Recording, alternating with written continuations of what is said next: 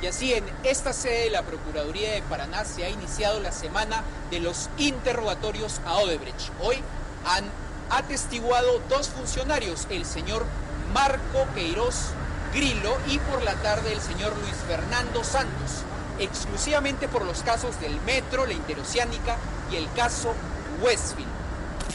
La sede de la Procuraduría en Curitiba se convirtió en el epicentro del caso Odebrecht peruano. Por la mañana, Marcos de Queiroz Grillo, el funcionario encargado de colectar el dinero para llenar la caja de coimas de Odebrecht, fue interrogado por el fiscal José Domingo Pérez hasta pasado el mediodía. Pérez se retiró sin dar declaraciones. Por su parte, Américo Espínola, el supuesto contratante del expresidente Alan García para la conferencia de Brasil y segundo personaje programado para testificar, no asistió a su declaración por motivos de salud. El funcionario Marcos de Queiroz Grillo ha confirmado que los pagos por la conferencia al expresidente Alan García fueron simulados.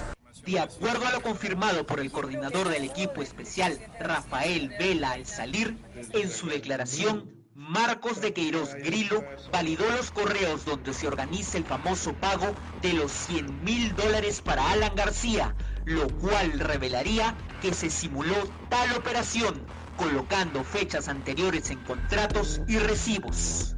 De hecho, nosotros estamos plenamente satisfechos porque todas las preguntas que han sido formuladas por el fiscal José Domingo Pérez han sido respondidas con exhaustividad, con mucho detalle.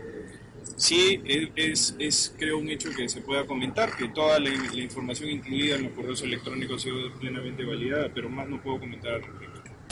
Erasmo Reina, su abogado, por su parte, aseguró que el testigo Marcos de Queiroz Grillo dijo que no se trataron de coimas, por lo que su defendido no cometió delito.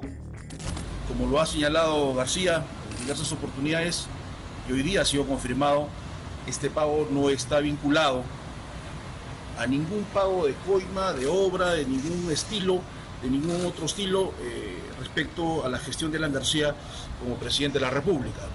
Por la tarde, el interrogatorio continuó con Luis Fernando de Castro por los casos Westfield e Interoceánica, esta vez sin la presencia de José Domingo Pérez, quien fue reemplazado por su fiscal adjunto.